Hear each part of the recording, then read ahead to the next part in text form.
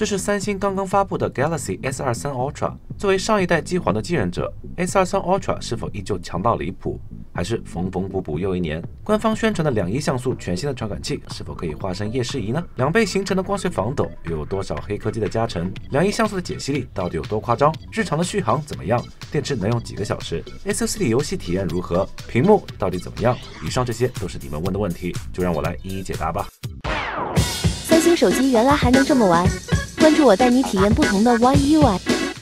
本期的视频内容完全独立，请放心观看。这次 Galaxy S23 Ultra 的外观我就不多介绍了，简单来说和 S22 Ultra 基本一样。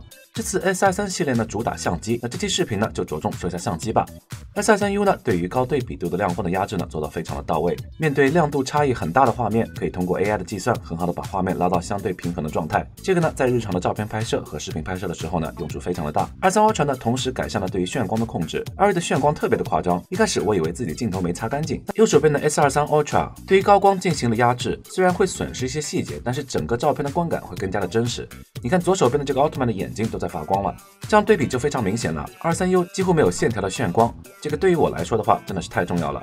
S23 Ultra 的五个镜头算法呢都进行了优化。这张照片呢是在夜晚环境拍摄的，可以看到右手边的 S23 Ultra 在尽可能保持细节的同时呢，画面还是比较干净的。下一个环节呢就是我这次最期待的弱光拍摄能力了。在这么一个几乎只有月光照度的场景，S23 Ultra 依旧能够正常的对焦和拍摄。对比左手边的 S23 Ultra，进步还是非常明显的。当然，这和目前很多的照相机动不动就是一万两千八百 ISO 的这个真的是没得比。照片的拍摄结果呢还是非常的接近。然而这一切在 iPhone 13 Pro 面前。这个差距还是非常明显的，不多说了啊。这次 S23 Ultra 的光学防抖模块呢，行程增加了两倍啊，在如此极端的测试中，稳定性呢还是提升非常明显的，胜比一个稳定器啊，甚至呢比很多的照相机都强了不少。可以看到 S22 Ultra 在每走一步的时候呢，都会产生抖动，而 S23 完全没有这个问题。在白天的测试环境下面，S23 Ultra 同样有着优异的表现，它可以在 2K 的分辨率下开启超级防抖。而 22U 呢，只有 Full HD 分辨率，画面的差异呢也是非常的明显。这里要注意一下，在光线较弱的情况下面，超级防抖会严重影响画质。官方宣传的拍月亮呢，我本身非常的期待。23U 对比 22U 可以说是没有任何的区别，对焦锁定的速度呢都很快，成片率呢也很高，画质呢大家就对比看一下。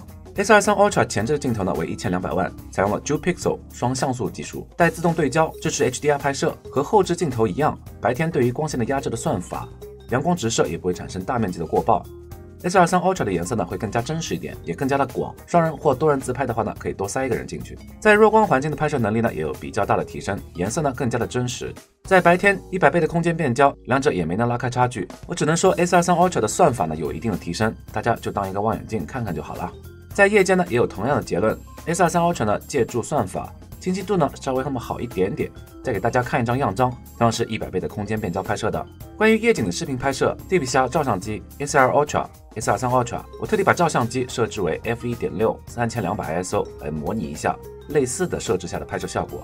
可以看到表现大家其实都很一般。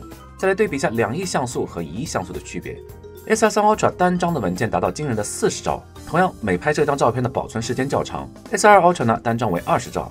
我们来放大同一个位置来看一下区别，可以看到 S23 Ultra 的细节保留的相当清晰，这样对比的话呢，两者的差异非常的明显。另外，动态的给大家展示一下 S23 Ultra 和专业摄影机拍出来的画质的差异。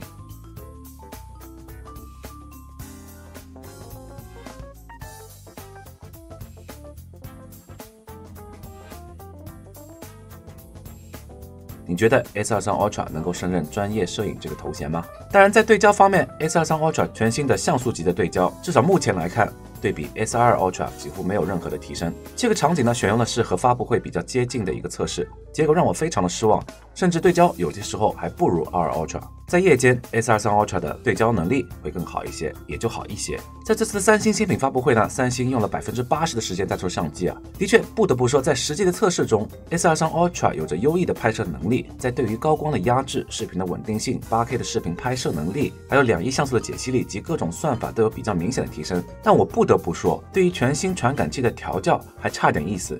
并没有很好的能发挥出这款传感器的优势。AI 的算法的加持，能够让你很好的随手拿起来就能拍摄一张照片，或是用手来拍摄视频，记录身边的美好。如果是这样的话，这台手机绝对够用了。但是如果你是希望拿它作为主力机来创作视频内容的话，而不在意画质的极致的话，我认为作为一台备用机，我觉得倒还是一个不错的选择。可能听起来我说的有点苛刻了，但你别忘了，这可是三星给消费者传递的一个概念。但至少对我来说，我不会使用 S23 Ultra 作为我的主力拍摄设备，这仅仅代表我个人的立场。毕竟话说回来，S23 Ultra try 可以说是目前安卓旗舰影像能力的第一梯队，在很多指标上的确有点秀肌肉的意思，也的确能让你随手一拍就能获得很好的成像。同时呢，如果需要更细腻的操作，三星也提供了包括 Expert RAW、Camera Assistant 这样的一些工具。另外，在专业摄影里面也提供了高比特率的视频这个选项，可以进一步的减少压缩来提高画质，还有包括三百六十度的录音，配合 Buds 2 Pro 进行环绕的收音。总的来说呢，可玩性还是非常高的。另外，关于手机性能和续航的视频呢，正在紧张制作中。总的来说，A Gen 2在续航和体验上提升还是蛮大的。那我们下期再见。